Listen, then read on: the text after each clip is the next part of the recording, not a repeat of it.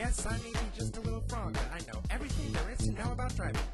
Now let's get started over at Flip the Frog's driving school.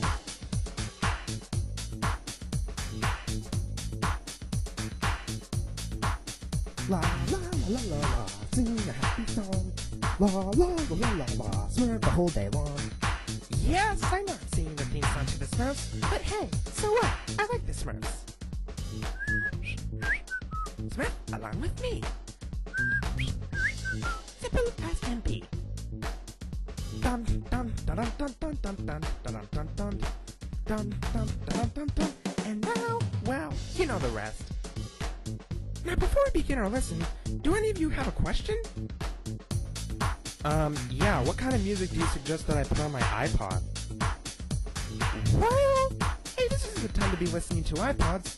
Let's just begin our lesson, starting with buckle your seatbelt.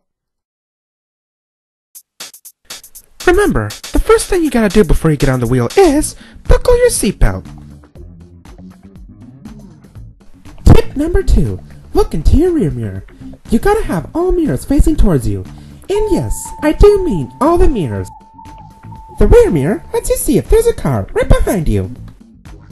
If there's a police car, then you need to pull over, because otherwise then you'll get a speeding ticket. Which leads up to tip number three, the speed limit.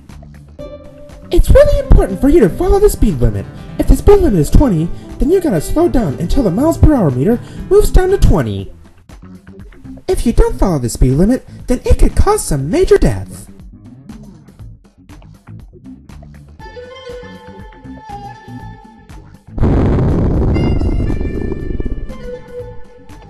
Tip number four, have your headlights on.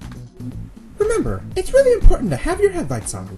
It not only helps you see in the dark, but it also helps other drivers see you as well. And that concludes Flip the Frog's tips on driving. For more driving tips, check your local DMV guide for more driving tips. I'm Flip the Frog. Goodbye.